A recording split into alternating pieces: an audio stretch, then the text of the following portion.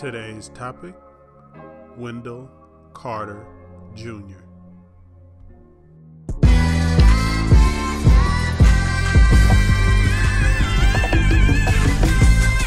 Please make sure you like this video, subscribe to my channel, and hit the bell for notifications so you can be gang up in this thing. Today we're going over Wendell Carter Jr. Now I think Wendell Carter Jr. is probably one of the most underrated big men. And in fact, I'm after doing a deep scouting of him, I would call him right now, and this is going to be kind of controversial. I would think he's, I think he's going to be the best big man to come out of this draft. I think he's going to be better than DeAndre Ayton. I think he's going to end up better than Marvin Bagley. I think he's going to be end up better than Mo Bamba, and I think he's going to end up better than Jaren Jackson Jr. I think the one thing me as a you know just observing and watching and looking at everybody in this draft, the thing that I like about Wendell Carter is he plays, moves, and reacts like a hooper, like a basketball player. He's not just an athlete that happens to play basketball. He's not somebody who picked up basketball late and has learned, you know, kind of the fundamentals. And, if you've li- listened to my other videos, uh, especially on Ayton uh, Bagley, and uh, Jaren Jackson, you you would uh, get how I talked about how they move on the court. How uh, like Ayton is kind of robotic, Marvin Bagley is kind of gangly, and Jaren Jackson is kind of awkward on the court. All of them, none of them move like a natural hooper, if you ask me. But when you watch Wendell Carter Jr., you see somebody who can really, really hoop. Um, very high skilled, very high skilled guy. Um, he has drop steps. He has the baby left hook, baby right hook. He has the pull up jumper.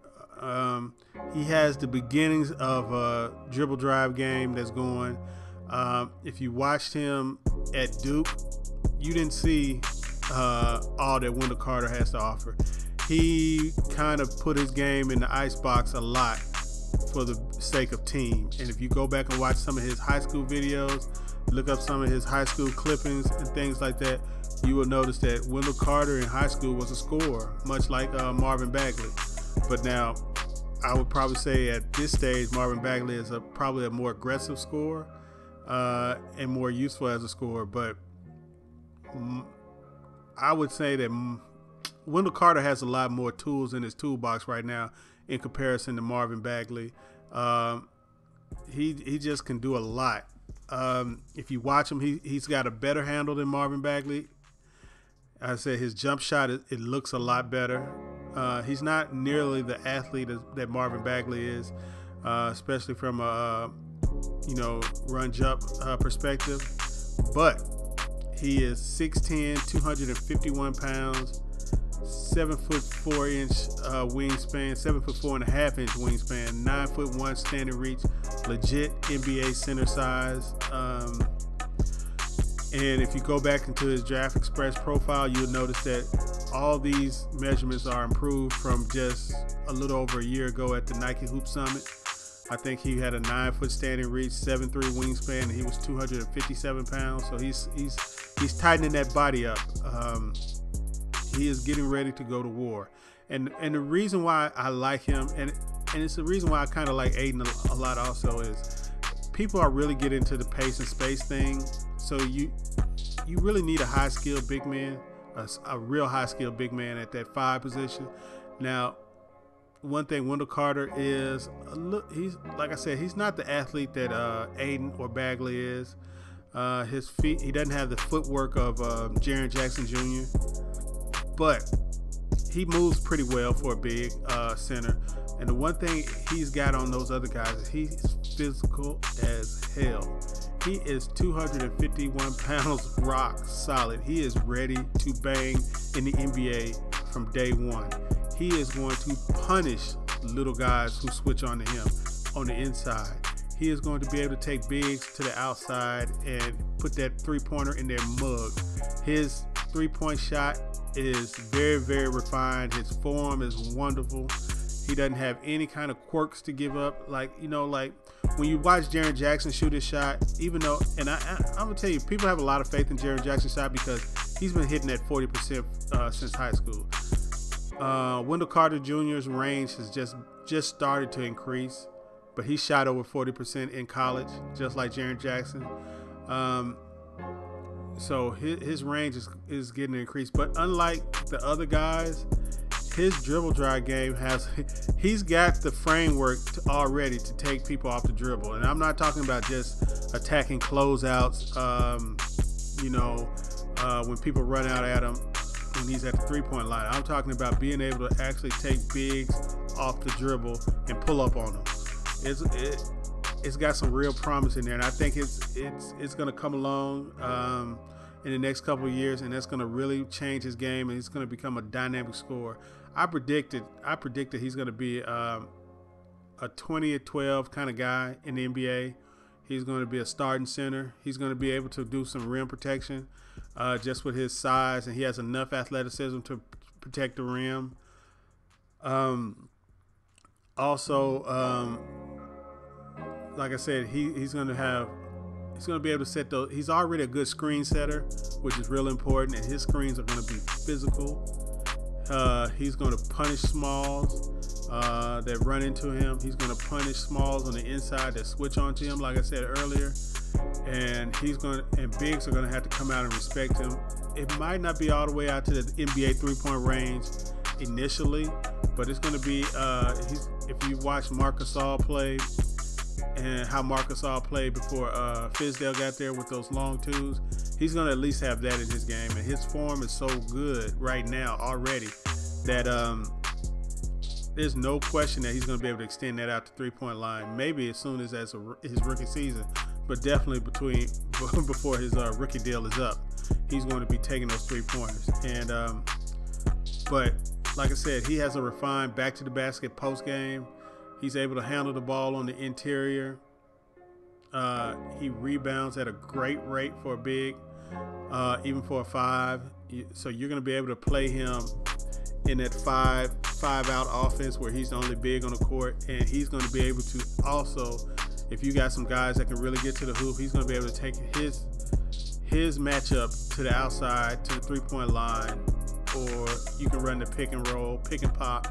A lot of things you're going to be able to do with Wendell Carter, and I mean he does have enough athleticism to get by, and I think his athleticism is going to shine a little bit better because he's already probably lost about 10 pounds since he, or what he, because I know he was at least 260 at Duke, uh, and he's already down to 251. So it t- just tells you that he's been in the gym, working and grinding.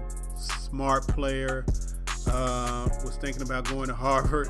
Parents wanted him to go to Harvard uh, out of high school and I think he made the best basketball decision to go to the Harvard of Hoops in Duke University and get that exposure that he needs to get to the NBA.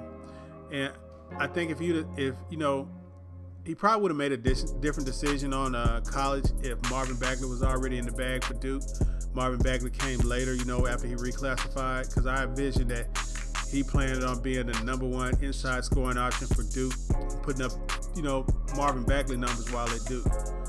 Um, and if you go on YouTube, you just put Wendell Carter and DeAndre Ayton in there, and you'll see the video where he pretty much went to work on DeAndre Ayton um, in high school. So I think it was AAU ball though. Uh, so me saying that he's going to end up being the best big out of this draft to me is not a stretch. If you watch him play, like I said, if you watch him move on the court, you watch his work ethic, his intelligence, uh, his hustle. He has a lot of positive going for him over the other guys. I mean, DeAndre Ayton, he has the, and I'm not gonna say it's his motor, but he has the this in and out where he takes, you know, sometimes he's not all the way engaged in the game. Um, Marvin Bagley doesn't have a right hand, and you know that that really worries me as somebody who's supposed to be a primary scorer if, they, if people could just play your uh, left hand all the time because in the NBA they're going to scout the hell out of you. And then you got Jaren Jackson who really doesn't have much of an offensive game, and I think now I, I think Jaren Jackson just like um, uh, Wendell Carter has the built budding of an offensive game. Wendell Carter is a lot more refined right now.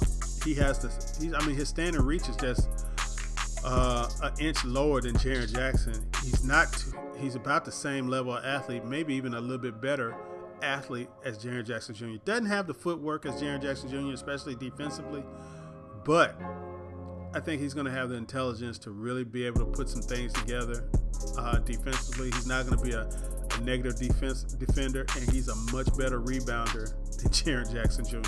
So when you start putting all these, putting the picture together of what DeAndre Ayton's pluses and minuses are, what Marvin Bagley's pluses and minuses are, and what Jaren Jackson's pluses and minuses are, and what uh, Mohamed Bamba's pluses and minuses are, and then you put Wendell Carter, you will notice that he has very, very few, or very, very few negatives, especially negatives that will hurt him in the modern NBA. Uh, the only thing that he might not be as switchable as Jaren Jackson, uh, and Marvin Bagley as far as athleticism go, and even DeAndre Ayton, because DeAndre Ayton has good feet and good footwork. I think he gets a bad rap on his defense. Um, I think he just needs reps and uh, instruction. But um, he's he's he's got good physical tools. Um, I mean, nowhere near the physical tools of DeAndre Ayton, who is just like a uh, has an elite physical profile. Um, you know, seven foot one, seven five wingspan, and nine foot three inch standing reach.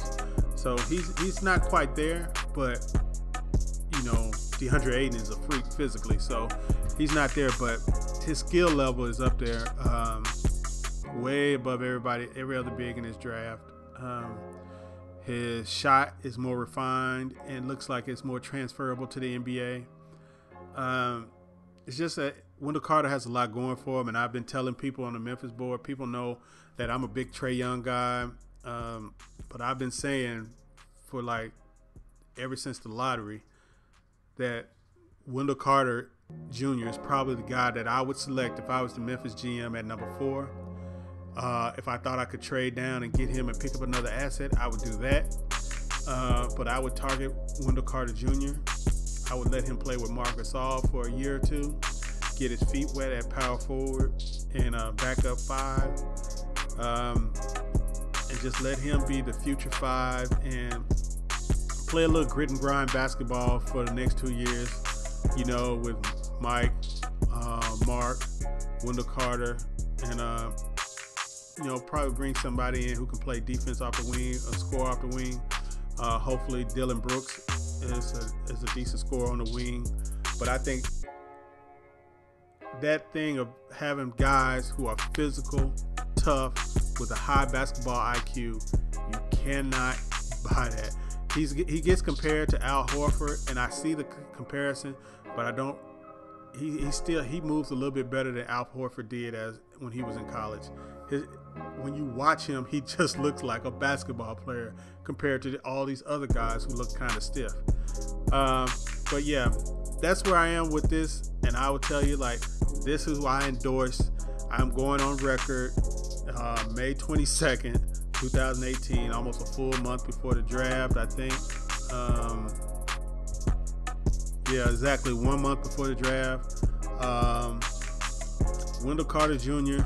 hopefully to Memphis. Uh, I don't care if it's at number four because, like I said, if I think he's the going to end up the best big in this draft, taking him at number four would not bother me. The only only caveat I would offer to people uh, as far as Wendell Carter Jr. Uh, taking him is if you have complete faith that Michael Porter Jr. is going to check out physically and I really wouldn't want to play that game. I think Wendell Carter Jr. is close enough to the level of prospect as a healthy Michael Porter Jr., where you don't have to risk the injury problems. And with Memphis, the Memphis Grizzlies' um, history of injuries and um, managing injuries, especially on young players and young draftees, I would stay away from Michael Porter Jr., even though he would be probably the number one guy, if healthy, for Memphis right now. But but closely behind, I would have Wendell Carter Jr. And the only reason I say this over Trae Young is because I don't want to deal with uh, the people abusing Trae Young in the playoffs, which I've been seeing that they're going to find him, and he is just too small. When people have, if any team comes up against him with two physical um, guards, he's going to be really, really, he's going to really hamstring your defense. But this video has gone long enough. Wendell Carter, the number one big man in the 2018 draft. You heard it here first on Hustle Hoops. Um, so don't forget, like this video, subscribe to my channel, hit that bell for notifications, and get in part of the Hustle Hoop gang. Peace.